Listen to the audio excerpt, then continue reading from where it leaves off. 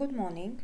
Today I'm going to conduct a lecture on the literature of the lost generation, lecture 6. First of all, let me introduce with the plan of our today's lecture. First of all, we are going to define the term lost generation. Uh, what this term means and how did it arrive. Then we'll talk about the representatives of lost generation as Sherwood Anderson, Francis Scott Fitzgerald, and Ernest Hemingway. Before talking about the representatives, I would like to give some information about the history of Lost Generation. As we know, Lost Generation appeared during World War uh, I.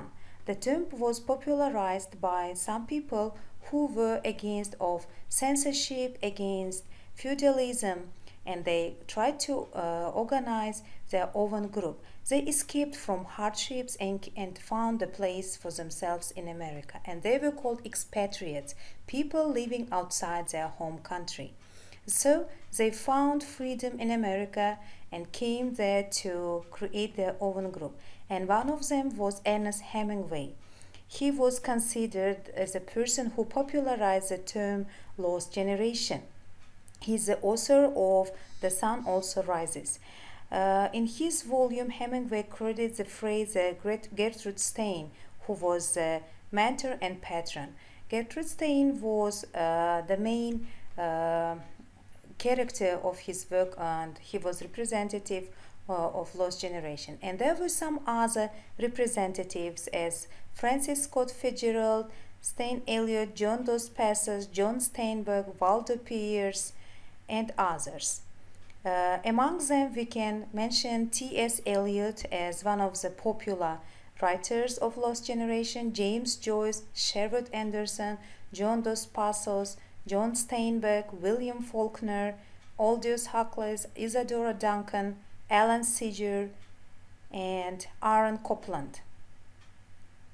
Most of them tried to escape from the hardships and from uh, the life which uh, seemed very hard for them and tried to find freedom in America. And they called themselves the representatives of lost generation. Now let's move to our next plan. In this uh, plan we are going to discuss uh, representatives of lost generation as we mentioned Sherwood Anderson. Sherwood Anderson was born in Camden, Ohio on September 13, 1826. He was the third child in the family and uh, family his family settled permanently in Clyde, Ohio in 1884. The income was rarely adequate without the added help of the children's income. Due to the difficulties, Anderson's father began drinking and uh, his mother died in 1895. Sherwood was eager to take an odd jobs and earned name Joby. However, his interest caused him to miss school often. He finally left high school before graduating. In 1896, Anderson left Clyde for Chicago where his uh, brother Carl was living. He attended Wittenberg Academy of 1900 and in 1904 he married Cornelia Lane, the daughter of wealthy Ohio wholesaler. In 1914 he divorced Cornelia and married Tennessee Mitchell. In 1922 he separated from Mitchell before marrying Elizabeth Prall two, late, uh, two years later and he died of peritonitis in March of 1941 on his way to visit Panama. When we talk about his literature, uh, we should mention we, we can divide his works into early and later works.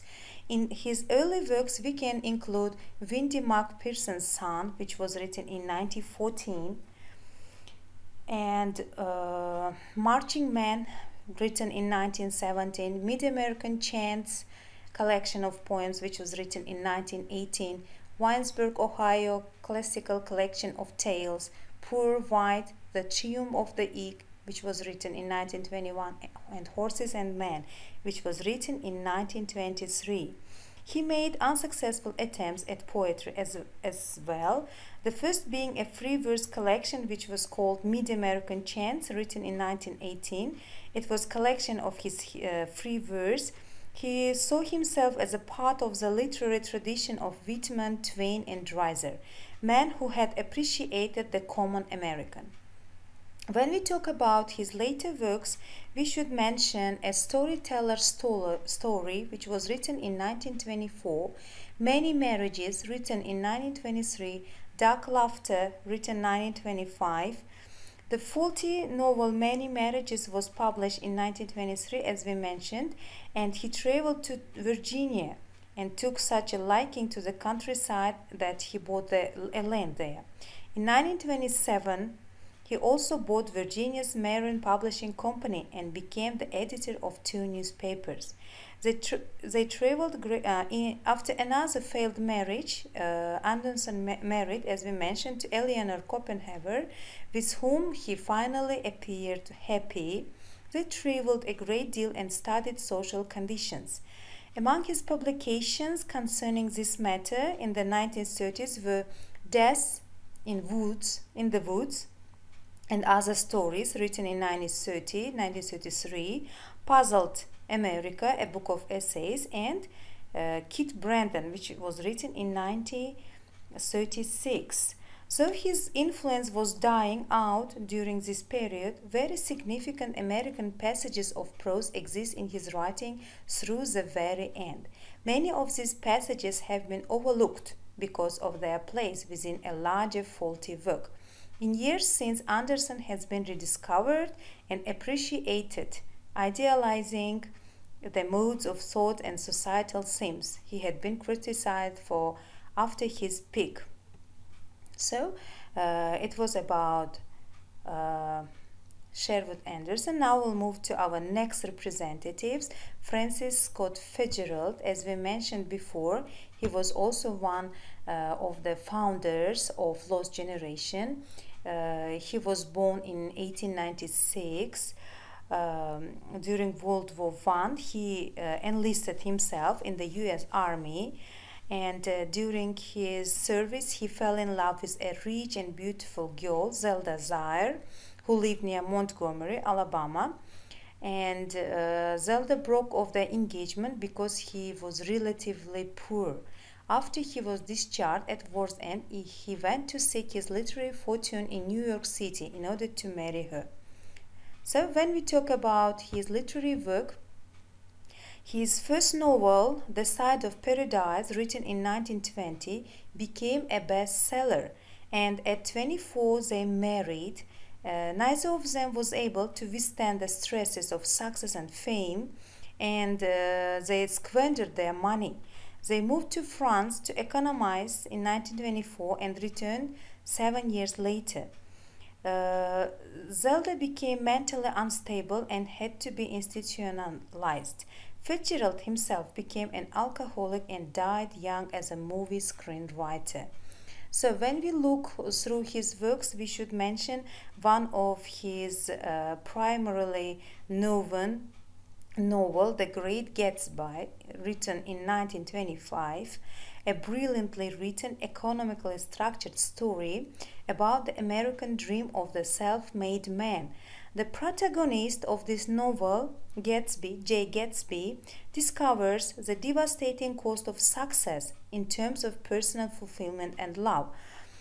Next of his work that is uh, worth to mention is Tender is a Night, uh, which is written in 1934, uh, which also describes a young psychiatrist whose life is doomed by his marriage to an unstable woman, and some stories in the collection, Flappers and Philosophers, Tales of the uh, Jazz Age, written in 1922, All That Sad Young Man, written in 1926.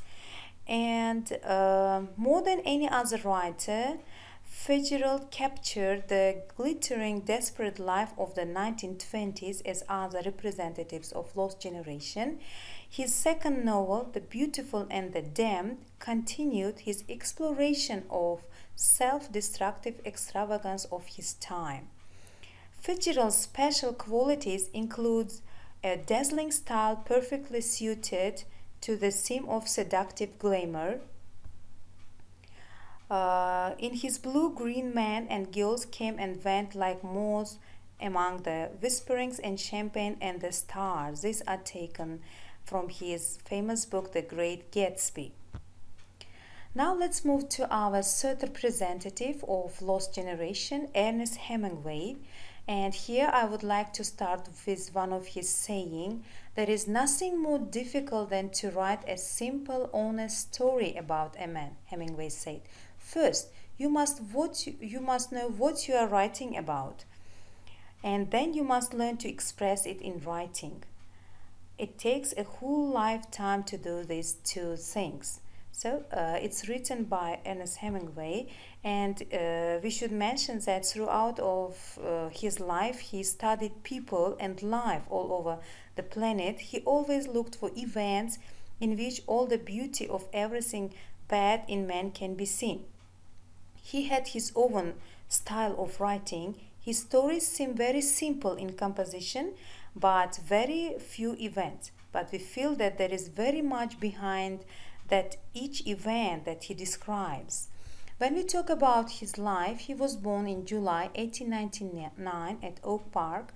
Uh, he uh, lived in a highly respectable suburb of Chicago and he was uh, the second of six children. His father was a doctor.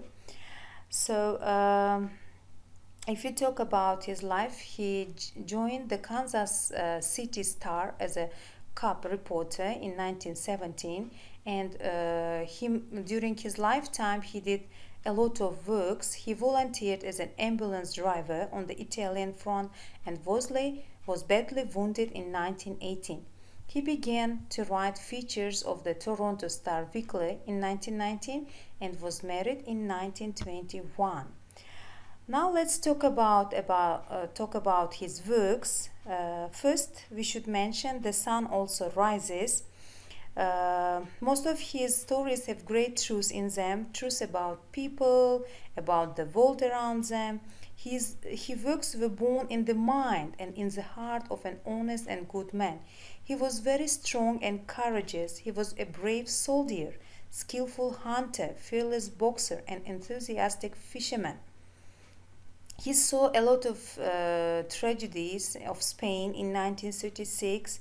His life was full of danger, and most of his works depicted these stories. Um, here we mentioned uh, his works as uh, written here three stories and ten poems were also one of his uh, famous works, but his first big novel was The Sun Also Rises, as we mentioned. The heroes of these uh, works were people of the lost generation. They had nothing in the past and nothing will have in the future. They had speaking about their feelings, stories of their sufferings. They tried to conceal their real inner world under the mask of indifference. They drink to forget the emptiness that is in and around them. Most of his works had uh, such characters, uh, and he uh, tried to use such dialogues that aimed at concealing the thoughts of the heroes. The theme of the lost generation is also found in his second work, A Farewell to Arms, which was written in 1929. This novel is about birth and death of a great human being. Two themes are intermingled in this novel the theme of love, which dies, and the theme of war, which shows sufferings.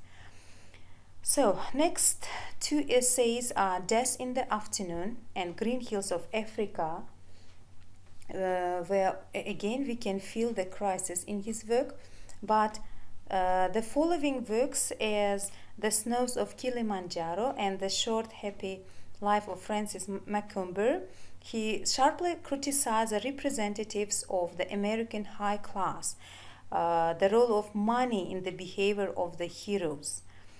Uh, next of his works is American Soldier, which is written in 1937, uh, on Americans' death in Spain, written in 1939. And we should also mention his uh, famous play The Fifth Column, which is written in 1938, shows uh, shows the struggle for Madrid. And other works are To Have and Not to Have, Man at War, which is written in 1942, Across the River and Into the Trees. So, and we should also mention uh, one of his famous works, The Old Man and uh, the Sea, which is written uh, in 1952. Let's talk about uh, this uh, famous work of him. It is a story full of humanism, the story about courageous people, and the main idea of that work is a man can be killed but not defeated. And we should mention that it was one of his last published works. And this work will always be the expression of his love to the common people. For this work, he was awarded the Nobel Prize for Literature in 1954 for his mastery of the art of modern narration. So, the books of the big man, as he is called in Cuba, of courageous fighter, traveler, life lover, will be ever remembered by people. So, uh, today in, uh, in, our lecture, we mainly talked about the uh, representatives of lost generation and um, the term of lost generation itself. And as a home task, I would like to give you some questions. I want you to write a short essay about the phenomenon of lost generation and peculiar features of Sherwood Anderson short stories, Fitzgerald's uh, problems of the lost generation, basic themes in Hemingway's novels and stories. What is the main idea of the old man and the sea? So I want you to cover all these questions uh, till our next lecture. Thank you very much for your attention.